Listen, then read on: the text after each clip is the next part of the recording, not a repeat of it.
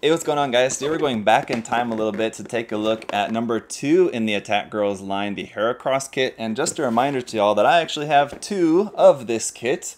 And I'm going to be giving one away to one of you guys, so just make sure you watch to the review portion and I'll let y'all know how to win one of these kits for yourself. But for now, let's get into the unboxing.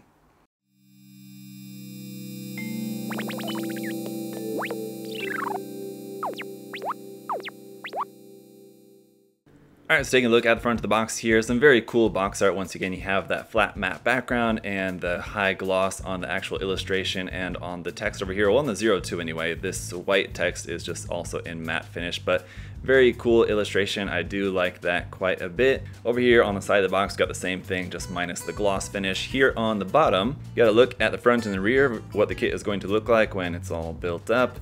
And over here you get a look at some of those really cool effect parts in some action poses there, so those should be very nice. And on the top of the box you got to look at the face display here showing the different face options we have with this. So it looks like you got a few different face options to use and or you just look at some of the gimmicks, how the weapons parts and things are going to move around on the back. We'll see all that once the kit is actually all put together. Let's go ahead and get it opened up. Here's one cool thing that's included in here. Well, I don't know, not necessarily of all that much interest to me personally, but it's cool to have extras. So there's a dress. We'll take a look at all the contents here in just a minute. I just want to dig down and find the instruction manual. Take a look at this first. There on the front of the manual is that box art there once again. On the back side, just the 02 Heracross logo there. And also for reference there, you can see this kit came out in 2019, just obviously this is going back a couple years. So here's more images of the unarmored version of the kit. Now again, this is going back to the second kit in the line of the Attack Girl series. I think as the line has progressed, their faces in general, like in the kits, have gotten nicer. So now going back, it'll be interesting to see how this compares. But there you go. You see you got a couple options there for the chest piece. And overall, I think the, the unarmored figure does actually look quite nice on this one, even though this is going back in the line. Next page, we've got the parts list and all of that, and then just the construction of the kits. So that's all pretty standard, I can assume. Going to the back here just shows how to use the weapons and effect parts and all that. Then we have our complete diagram over here, so you can see what that's all supposed to look like. And then the last page here, some more Im images of the finished kit, which are always nice for references, for posing references or whatever. So you guys have that all there. It looks like mostly what's on the outside of the box, but there you go, it's got some larger images of those. So let's start off by taking a look at these water slides. As you can see, there's options there for either blue eyes or red eyes, and that's all you got for the water slides. There's no markings or anything else like that, which would have been nice, but at least you got some eye decals there, which do look pretty nice. Then we got our face options here. It looks like you've got the pre-printed faces as well as the unprinted faces. Printing on those looks pretty good. We'll see these obviously more in detail once we get the kit all built up and everything, but it looked pretty nice. Also got our hand option parts here in these separate bags. Looks like we've got like, and these also look quite small. These look even smaller than Megami Device hands, I want to say. But we'll see what, again, when the kit is all, is all built up. But there's like closed fist, karate chopping hands, open expressive hands, holding hands. So we'll see all that here in just a little bit. And some larger hand effect parts. These are in clear yellow for the effect parts that we'll see on that. The rest of our like lightning bolt style effect parts here are in a separate bag as well. There's six different pieces of those. And here's a look at the Attack Girl fashion dress here we have for this. So again, not necessarily my taste per se, it's 1 12th scale there, I guess it tells you for that, uh, 1 12th sackles. Here's a look at the included base, so it's just all clear, you have the main base plate and then a bunch of pieces here for the arm for that. Getting into the runners, here is runner A1 with a bunch of pieces there in red. Runner B1 is some more pieces here in red. We've got two of those, and we do also have a runner B2 and then a larger runner B2, which is just the same part with some added bits on there as well. Runner B3 is a section of some like very bright fluorescent clear green parts. Runner C1 is going to be all of our flesh tone parts, but we do also have another C1 which is in black. So any of the flesh tone parts, if you didn't want them to be in flesh tone color like the thighs, the torso section, you can have those in black if you prefer. Then also in black runner D1 is some more of the body parts there. You can see some leg and arm pieces on there, all pretty familiar if you guys built a lot of Attack Girl kits or whatever. Then just like with the body, we have options for the hair as well. So runner D2 is going to be our hair parts in either like a darker pink or a lighter pink. So that's nice to have some options there. You could mix and match those well too. We'll see what that looks like. Runner E1 is some pieces here in black. We've got two of the E1 runner. And the E2 runner is larger. We've got two of this section and then just one of them has this added section over here on the side for some more pieces in black. Runner F1 is some pieces here in like a dark maroon color. We've got two of those. Runner F2 is some pieces here in white. And then runner F3 is some more pieces in white. And we've got two of F3 runner again with one runner being a little bit different. Runner F4 is some more pieces in that dark maroon color. Runner G1 is some pieces here in a medium gray. We do also have a, a second G1, but it's just that center section of the runner right there. And then runner H1 is some pieces here in a nice clear blue. Runner H2 is some pieces in a molded gold, which does also look pretty nice. And there you go, that's it. So quite a fair bit in there between all the different option parts and everything, and then plus the other different option accessories that we have. So let me get this all built up and we'll see how she looks. Alright, so she's all built up and we'll start off the review here taking a look at the dress option that you have.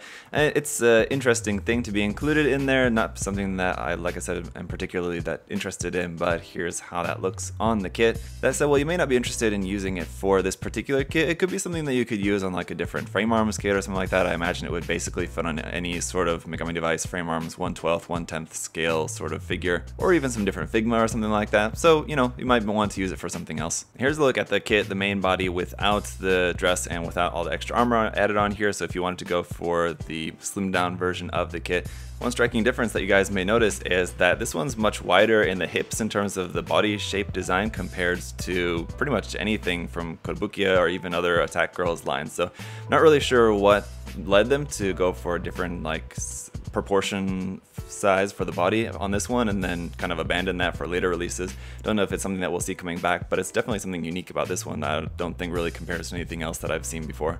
But overall, pretty cool character design here and the ability to swap out different colors there with the two different color options for the hair. You can mix and match that or choose whichever color hair that you like is also a nice option. So here's just an example of switching out one of the sections of the hair. Basically, there's four sections, the back, the left side, right side, and the front, so you can mix and match those you also have an alternate piece here for the chest. There's a smaller size and a larger size. And again, if you guys didn't want to have so much skin tone, any of the skin tone parts that you see there are swappable for just regular black pieces. So there's a thigh section, for example. Here's the main torso section, the arms, everything except for the face. Obviously, we don't have black options for the face, but even the neck, you have options for those all in black if you prefer. Around here on the back is the hard point for where you're going to plug that onto an action base if you want, but if not, you can just plug this little cap piece on there instead. But these feet are very small and it I do find it kind of difficult as I was just trying to get the kit into a couple of poses there. It's difficult to stand on the two feet there on its own, so definitely having it on an action base does help. Now for the alternate head and torso section, that's what that is going to look like in comparison. So I've just, for this head, I've gone ahead with the darker pink colors for that, but that nice clear blue part on there, and of course the big Heracross crest on the head looks very cool and the armor section is also using that little bit of clear blue. The arm we're going to be swapping out for this armored arm here with a couple of hard points on there, one of which we're going to use for this equipment, which will plug onto the side of the arm, which we're going to use uh, as weapons, and also for the effect parts are going to be used with this. But again, the nice clear blue and clear green parts on there look very cool and also just nice details on everything. For our leg option parts, we also have a couple of hard points on there and again these are just gonna swap out there like that. You got that nice gold, black, red, and dark red maroon color scheme going on there. And the main backpack sections are just going to plug onto the back. These clear blue parts will wrap around the waist section. I like how this is kind of styled like a sort of beetle shell. It looks like kind of beetle shell wings here on the back, but then it opens up and you have these other parts which kind of all move around here. Again, the clear green and these white kind of tube sections do look very nice. You have some nice inlaid gold in there in that vent section there in the back. You have the same thing on the back of the body. I'm not sure if I showed this to you guys well enough, but there you go. So that uh, nice clear green up inside there. So some really nice color separation around everything. You got the gray, the red, the maroon, the black, the clear green, some more gray here. These sections of the armor kind of move out to the side for when you're moving that side to side. Those aren't getting in the way. The little flap there at the back as well. So here once we get, get all suited up, we can see how it's going to look in, I guess its final form as we can call it, and it is very cool. The equipment is very unique. It's very colorful, which I feel like it may be a little bit too colorful for my taste, with the greens, the blues added into, like the black, red, and gold all goes really well together. The greens and blues added in there just kind of make it very colorful. It's like a rainbow of colors all there, and it may be a little bit too much. But I don't know, maybe you like the fact that it is very colorful. It does, I guess, probably sort of suit the genre. And overall, it does look great in terms of the details and the color separation, so that all looks re really nice. The articulation, of course, very standard and works great. Everything's pretty tight. I'm not really experiencing any loose parts, except for the biceps tend to come apart a little bit, so you might want to glue those parts uh, just when you're moving them around because the shoulders are quite tight, which is very good for holding up the weight of, especially once you have the all the effect parts and everything add onto the arm. The arms are going to be pretty heavy, so the fact the shoulders are tight is good.